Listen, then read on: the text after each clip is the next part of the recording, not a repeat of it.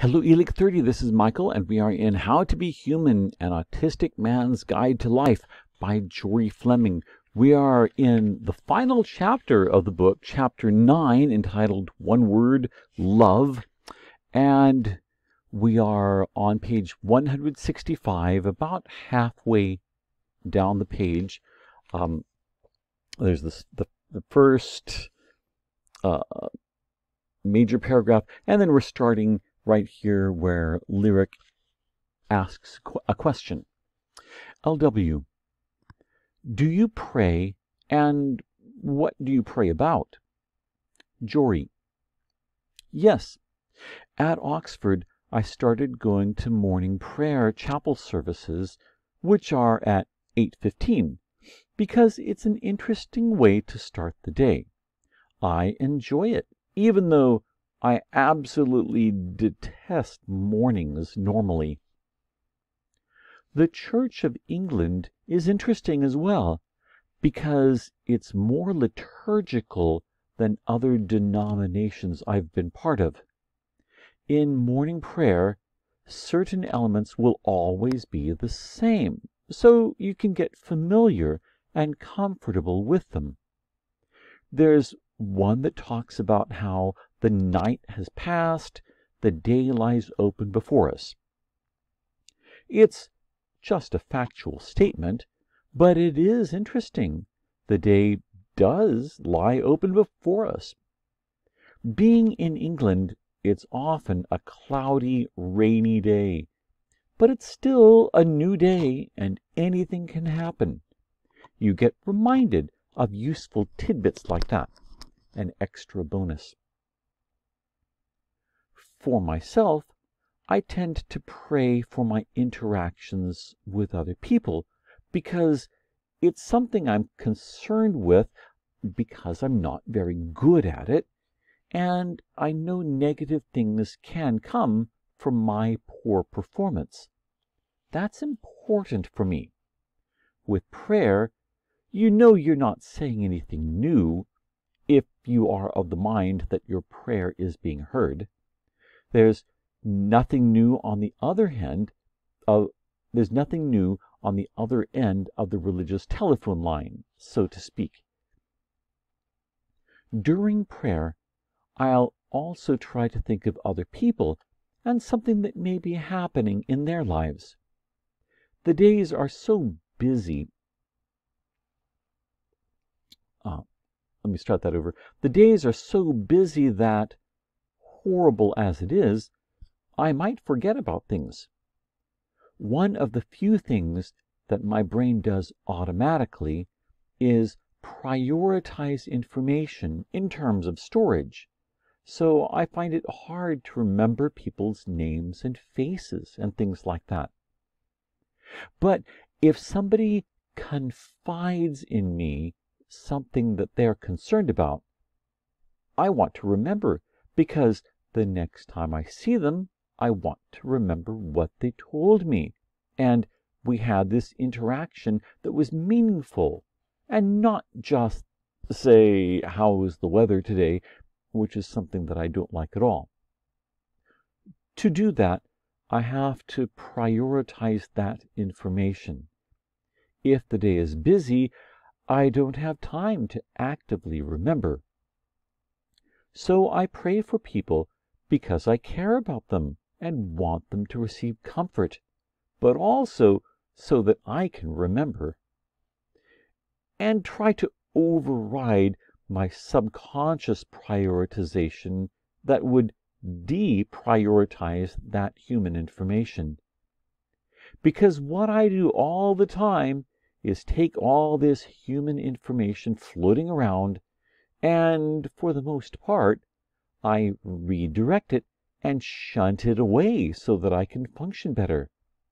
But there are times when you want to capture some of that information as well. LW. You mentioned to me the scriptural mandate to protect the weak, which is one of the tenets of Christianity, and in different ways of other religions as well. How do you view that mandate? what does it look like through your eyes? Jory. I've been thinking about the stereotype that if you lack emotion, you're cold and calculating. But that perspective doesn't necessarily make me cold and calculating. Maybe it is, in fact, a better way to fulfill the scriptural mandate to protect the weak. Many people react emotionally to weakness. But the scriptural advice, not just from Christianity, but from other religions, is that the weak can have surprisingly different sources of strength. From my perspective, I'm weak in all sorts of ways, but I've been able to positively contribute.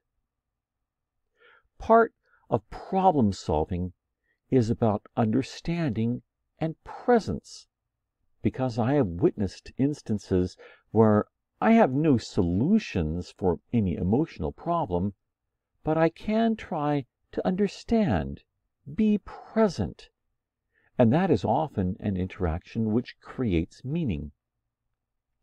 While I understand less, the fact that I observe more, the fact that I, in my small way, learn something each time, is really valuable for me and hopefully for other people as well.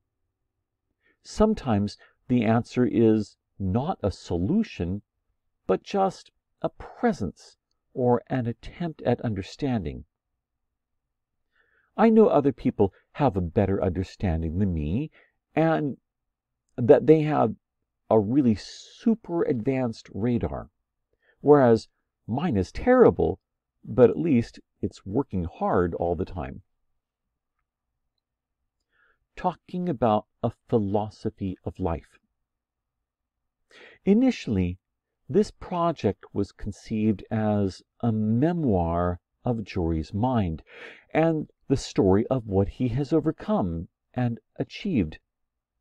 But as our conversations grew deeper, it evolved. The story became less about what Jory has done in spite of autism and more about who Jory is because of autism how he sees life, how he approaches it, how his perspective and inner compass came came to be are inseparable from his condition. To accurately convey Jory, the talking, the back and forth, and the exchange of ideas became invaluable. I wanted to put readers in my shoes to ask questions you might ask, then listen and respond and reflect as you would. For Jory, I wanted to build the safe space that he finds missing to metaphorically get in my own boat and row as close to his island as I could. From this place, we found ourselves discussing not simply language and processing and the reading and misreading of emotion, but fundamental characteristics of what makes us, the nearly 8 billion of us on planet Earth, human, and what might make us better as humans. A young man who struggles every day to understand people around him has pierced to the heart of some of the most fundamental dilemmas facing us in the 21st century. Have we considered the long term consequences of embracing emotional drama and fervent rhetoric and allowing them to play such dominant roles? Have we given sufficient regard to the value and practice of critical thinking? Are we willing to make space for diversity of thought?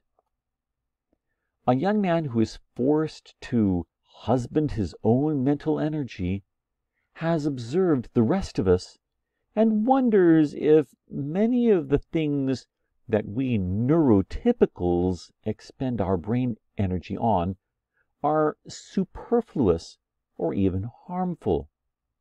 Is it not better, instead, he ventures, for each of us to commit from our own internal space to correcting the imbalances we see in the world? How might we begin to rebalance those imbalances? Much like his personality choice of ruthless optimism, Jory is a proponent of practical idealism. He advocates for smart people to do less thinking and more real world problem solving.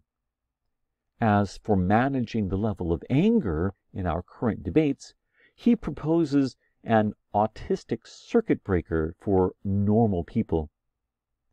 The title for this section, A Philosophy of Life, was chosen which, with much thought and care. In terms of personal burdens and challenges, life dealt Jory a very difficult hand. But then, for his next card, he drew an ace in the form of self awareness. Let's pause there for a moment. Okay, the um, the interviewer, Lyric Winik, is using a, a metaphor from uh, from cards, from gambling, from poker. Uh, so um, life is the dealer of the card game, and Jory is the other player. So life dealt the cards, and Jory's cards um, were hard to work with. Um, but then, you know, to you know, as in some card games, he was able to draw an additional card, and this card was an ace, which is a one. But uh, but but an ace represents the strongest. It, re, re, it represents a very a very strong um, component in this hand, uh, this hand of cards that he has. So that's what she's saying. He started out with something that was weak and hard to use, but then he drew something that was potentially very strong when he drew the ace. An ace in the form of self awareness. Continuing on, that awareness is his gift to share as many of us search for ways to navigate an even more fractured society. When Jory speaks of how you, me, each of us has the internal stability to be able to stand against the tide of the world. This thoughtful man who relies on leg braces knows exactly how hard it is to remain upright amid the buffeting waves and constantly shifting sands. Okay, pause again. Now she's using a new metaphor. Her metaphor here is from uh, from the ocean, uh, the tide of the world. This is the the ocean tide uh, coming against us and trying to push us uh, a certain direction, and uh, how hard it is to to stand and keep your balance and be firm while you have this um, this body of water coming toward you and pushing against you. Continuing. Jory. There is a phrase that I've heard which I think is very appropriate here. Too often, emotion based conversations devolve into throwing dirt. But throwing dirt is not helpful because not only do you get your hands dirty, but you are losing ground. You aren't making positive progress towards something. You are just throwing back more emotional words in someone else's face. No one is learning or improving their understanding of a problem.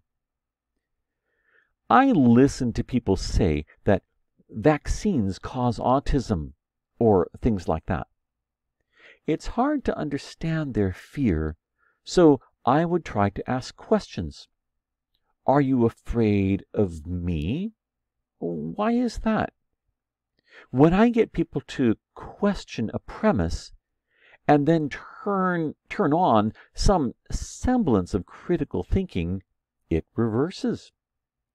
For a good number of people, it is possible to reverse the effects of mass manipulation. The real solution would be to teach people critical thinking in school. Everything about society is set up to avoid critical thinking and to get you sucked into a routine and ideology based groups that make things comfortable for you. Critical thinking is often very uncomfortable, at least in my opinion you have to reevaluate yourself, which means that, heaven forbid, you might be wrong sometimes. Most people don't like neutral. They want you to have an opinion. And I've always been of the mind that opinions are only useful if you're willing to change them very rapidly. I feel like the stronger your opinion, the weaker you should hold it. Mom will tell you that I am strongly opinionated, but I would say that I do actually change my mind on things.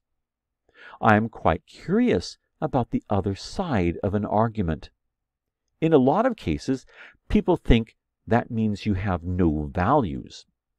But that's just people confusing values and opinions. A value is something that has to be tied to philosophy and systems and ethics, whereas an opinion can be more emotional and tied onto your individual assessment of a situation, which could be correct or could be wrong and we'll stop this video here.